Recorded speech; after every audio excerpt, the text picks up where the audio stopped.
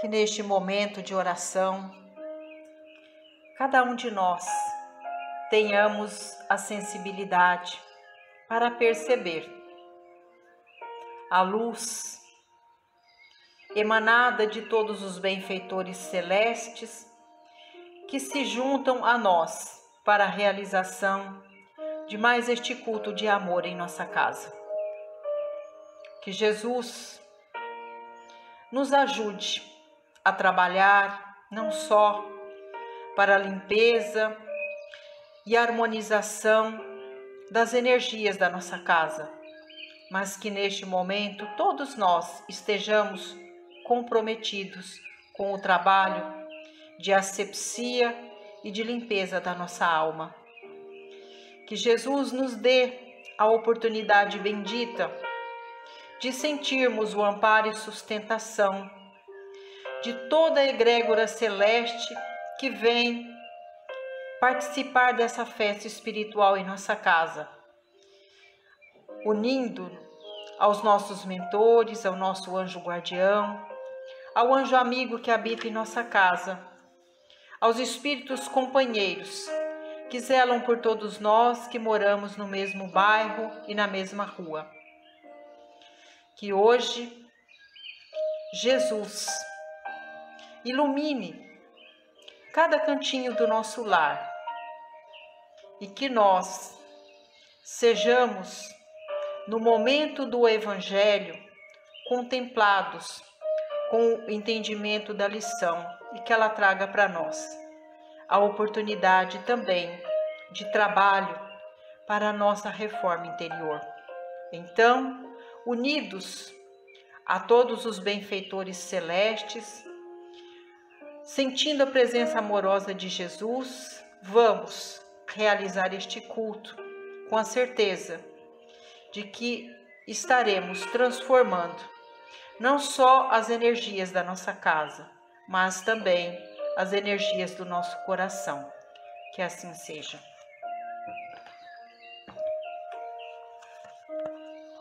Dando continuidade aos estudos do livro Pão Nosso, obra de Francisco Cândido Xavier, com as mensagens ditadas pelo Espírito de Emmanuel, capítulo 31 com caridade.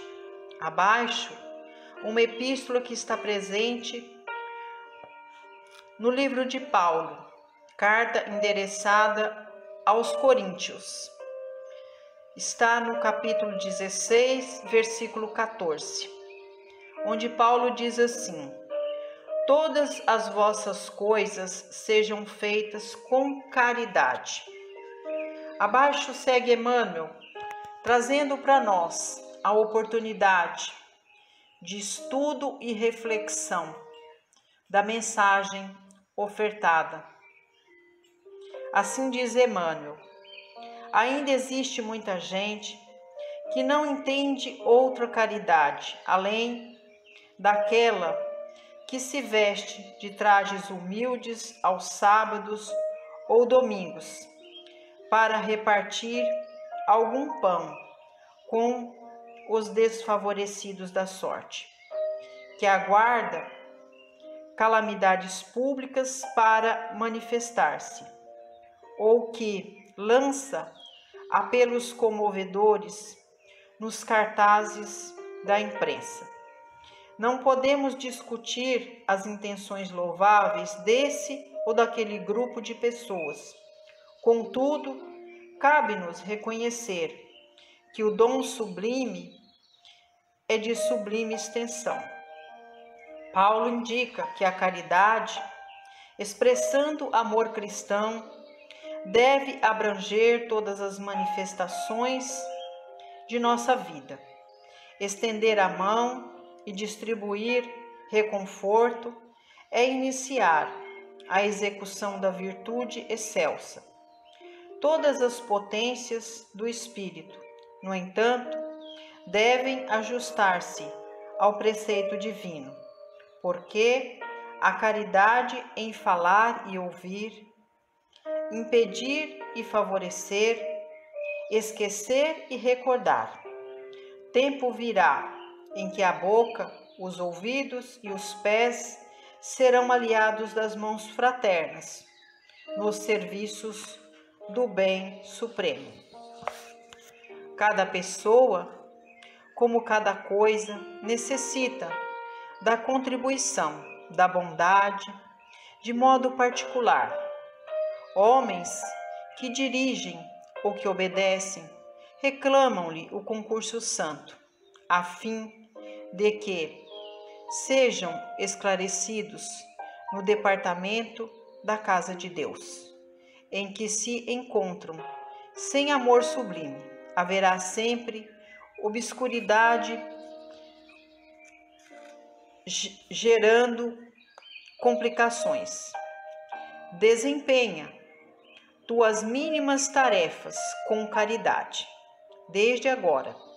Se não encontras retribuição espiritual no domínio do entendimento, em sentimento imediato, sabes que o Pai acompanha todos os filhos devotadamente. A pedras e espinheiros, fixa-te em Jesus e passa.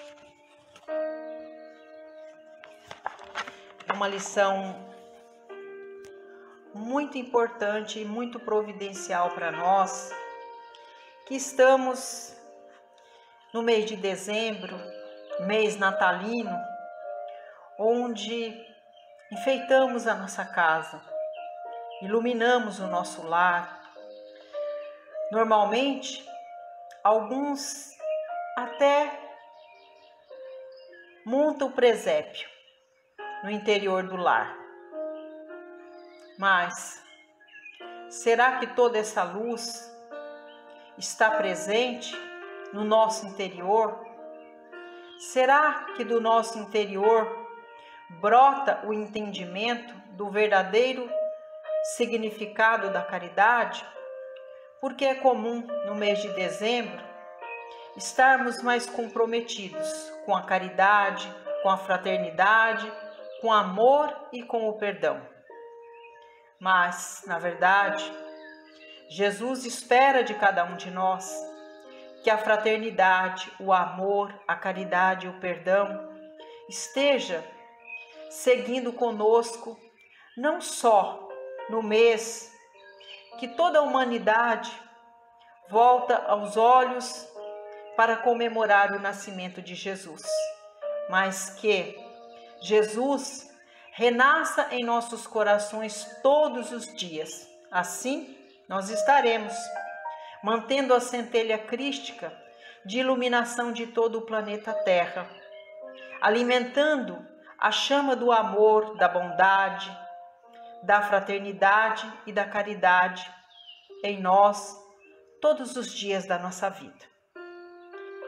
Emmanuel nos aconselha a prestar atenção na nossa caminhada enquanto viajores da Terra em sua mensagem, ele diz: haverá tempo em que já teremos vencido as mazelas do, do egoísmo.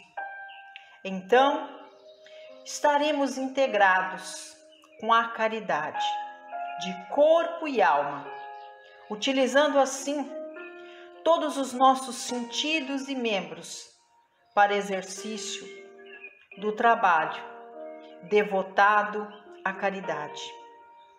A caridade será exercida por cada um de nós, no sentido macro e micro das necessidades humanas. Compreenderemos que a caridade vai muito além da matéria. A caridade terá para cada um de nós o sentido de cura e libertação do nosso egoísmo o nosso coração será um único departamento de amor. Estaremos comprometidos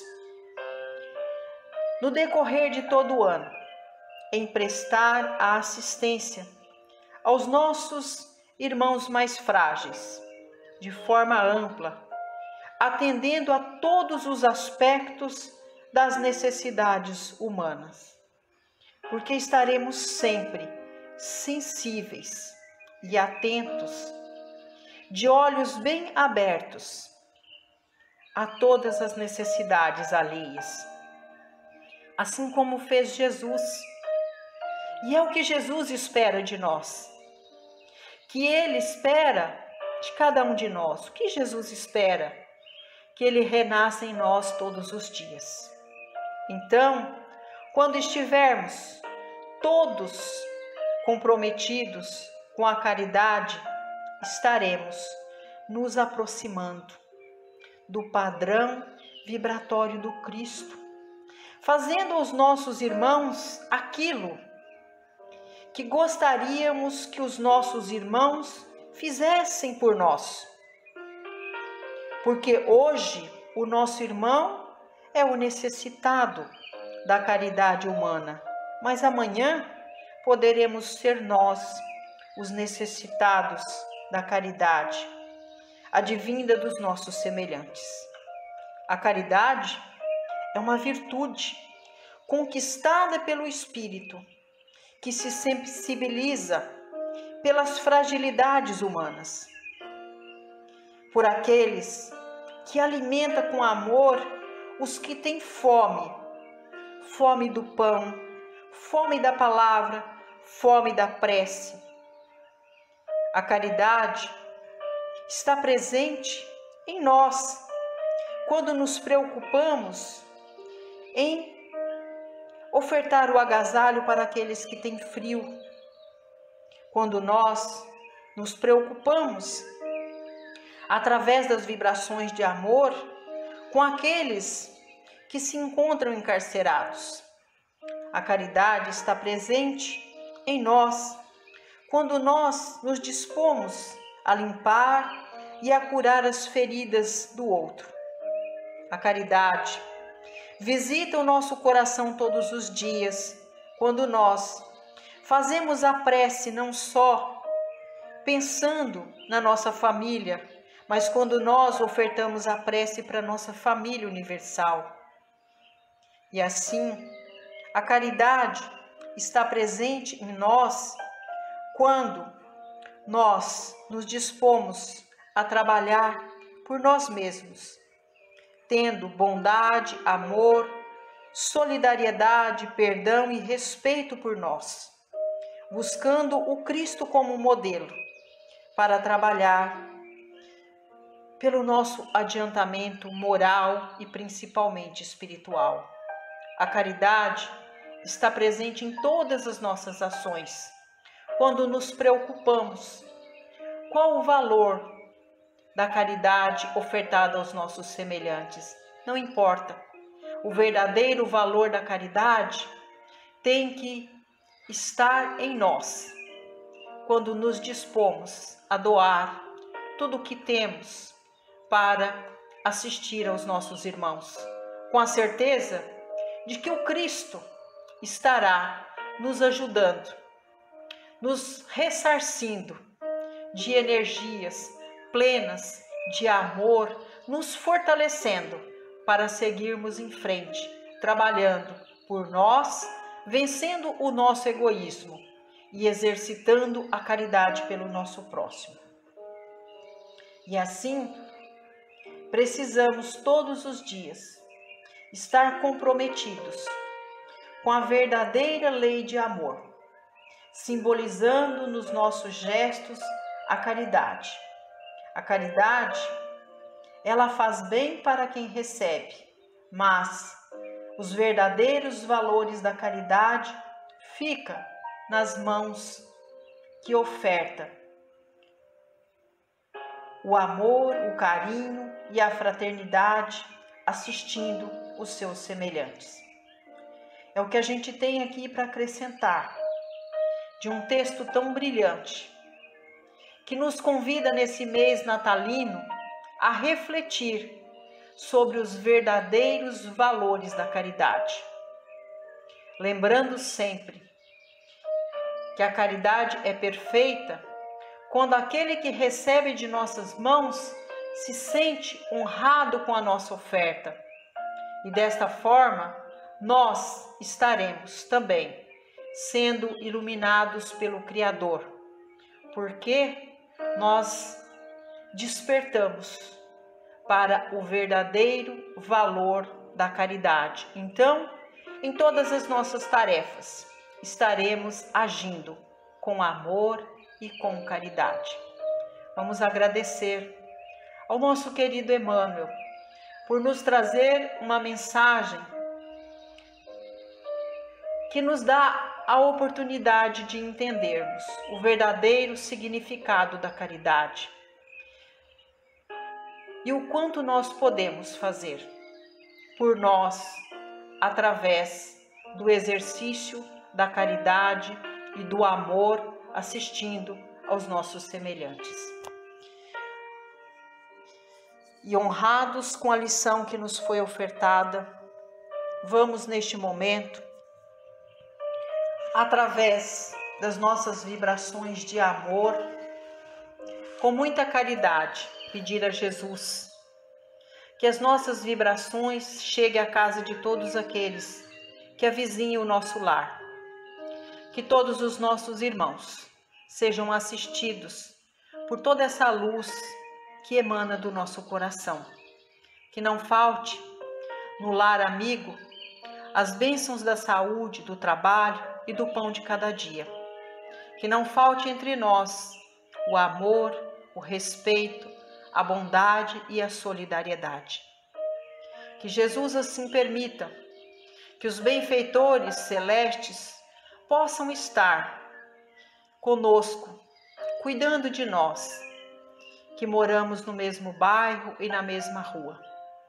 Pedimos a Jesus neste momento para que as nossas vibrações de amor alcance os nossos companheiros de jornada e ideal cristão que estejamos unidos junto com o Cristo Jesus, ombreando as tarefas, exercendo com amor, caridade e fraternidade o trabalho de assistência aos nossos irmãos, em todos os aspectos, assistindo-os nas necessidades materiais e principalmente espirituais. Pedimos por nossa família, que Jesus possa assistir os nossos irmãos que já se encontram em uma das moradas da casa do Pai, que recebam os recursos amorosos do plano maior, a caridade dos espíritos de luz, na oferta das oportunidades para que todos possam ser assistidos no trabalho que se faz necessário ao adiantamento moral e espiritual. Pedimos a Jesus por toda a nossa família, que assim como nós ainda se encontra como viajores da terra, que sejam todos alimentados pelas nossas vibrações de amor, que não falte na casa dos nossos parentes as bênçãos da saúde, do pão de cada dia na mesa, do trabalho, que não falte na casa dos nossos irmãos a paz, o amor, a bondade e a fraternidade, e que a caridade esteja presente entre todos nós. Pedimos agora, Senhor, pela nossa casa, pelo nosso ambiente doméstico, pela família que ainda está sobre a nossa tutela, sobre a nossa responsabilidade. Que a caridade destes benfeitores celestes esteja presente em nosso lar, nos ajudando na organização, na limpeza, no refazimento das energias do interior e exterior do nosso lar. Que toda a nossa casa seja contemplada com todas essas energias, que todas essas energias advindas do plano maior possa assistir toda a nossa família. Que elas cheguem ao exterior do nosso lar, trazendo harmonia para o nosso quintal, embelezando as nossas plantas e que elas assistam também os nossos animais de estimação. Que seja abençoado o local que nós lhes servimos a água e os alimentos. E assim, recebendo toda essa luz, de limpeza, de harmonização e organização do nosso lar. Pedimos ao Senhor para que toda a nossa família neste momento seja abençoada e contemplada com o passe. Que o passe seja neste momento para todos nós assistencial, que seja instrumento de tratamento e de cura para a saúde não só do corpo, mas principalmente da alma. Que neste momento, Senhor Jesus, sejamos abençoados, que seja refeitas nossas energias, que cada um de nós tenhamos o corpo asepsiado, a alma livre de todas as energias que apequenam o nosso espírito. Que a saúde e a vitalidade esteja presente em cada um de nós. Lhe pedimos, Senhor Jesus, neste momento, para que seja imantada a nossa água, que todas as partículas da água se expanda para que ela receba todas essas energias advindas do mais alto unidas às energias salutares da terra, dos minerais, das plantas, das águas e do sol, e que a água seja transformada no bálsamo de alívio das nossas aflições, no remédio que alivia a dor do corpo e da alma, e no alimento necessário para o nosso espírito. Lhe pedimos, Mestre Jesus, neste momento, que a nossa família foi contemplada com todas essas energias, com o passe. Pedimos para vibrar pelo nosso ambiente de trabalho, que as energias ali sejam refeitas, que os companheiros de jornada sejam contemplados com as nossas vibrações de amor, principalmente os irmãos de mais difícil convivência, e que o local de trabalho seja sagrado para a aquisição dos valores que traz para nós a prosperidade material e espiritual. Pedimos Jesus para vibrar por todas as famílias. Abençoe os lares que hoje padecem pelo luto. Revitalize os corações sofridos, alimentando-os de fé, de luz e de esperança. Cura, Senhor, os enfermos que estão nos lares. Abençoe as famílias. Revitaliza estes corações que padecem com a dor do seu irmão. Cura os nossos irmãos não só das mazelas do corpo, mas da alma. Leve afeto, amor, carinho e esperança a todas essas famílias. Jesus, abençoe todos aqueles lares que hoje padecem pela falta do trabalho, pela falta do pão de cada dia na mesa. Contemple estes irmãos com as bênçãos do trabalho, da saúde, com as oportunidades de assistência espiritual, para que possam, através do trabalho, assistir as suas famílias em todas as necessidades materiais e espirituais. Abençoe os lares contaminados pela mágoa, pelo ódio e pelo rancor.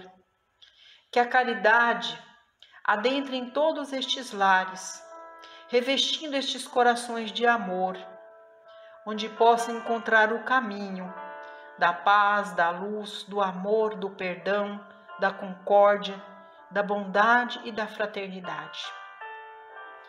Senhor Jesus, e agora pedimos ao Senhor para vibrarmos pela nossa família universal, onde pulsa um coração humano que recebam a sua centelha de luz, de amor, de fé e de esperança. Deixe-nos beber da sua fonte fecunda e infinita de amor, abastecendo-nos de fé, de saúde, de amor e de esperança. Dá-nos a oportunidade de trabalharmos irmanados pelo amor, pela bondade, pela assistência, pela fraternidade e caridade pelos nossos irmãos. Que a caridade esteja em nossos corações todos os dias da nossa vida, não só no mês que a humanidade celebra o seu nascimento. Que o Senhor renasça em nossos corações todos os dias, nos contemplando, nos preenchendo de luz, de amor e de fraternidade. Esteja conosco, Jesus, neste momento. Que vamos unidos num só pensamento, num só coração, ofertar ao Pai maior a oração bendita que o Senhor nos ensinou, que é o Pai nosso que estais nos céus santificado seja o vosso nome, que venha a nós o vosso reino, que seja feita, Senhor, a tua vontade, assim na terra como nos céus. Pão nosso de cada dia dai-nos hoje. Perdoai, Senhor Jesus, as nossas ofensas, assim como nós perdoamos a quem nos tem ofendido, e não nos deixes cair em tentação, porque teu é o poder, o reino e a glória, sobre tudo e sobre todos nós. Ave Maria, cheia de graças, o Senhor é convosco. Bendita sois vós entre as mulheres, e bendito é o fruto de vosso ventre, Jesus. Agradecemos, Jesus, por mais este culto realizado em nosso lar. Pedimos licença para humildemente abraçar fraternalmente todos aqueles que, por vontade do Senhor, trabalharam conosco, contemplando a nossa família de bênçãos, de luz para que tenhamos uma semana muito abençoada. Que assim seja.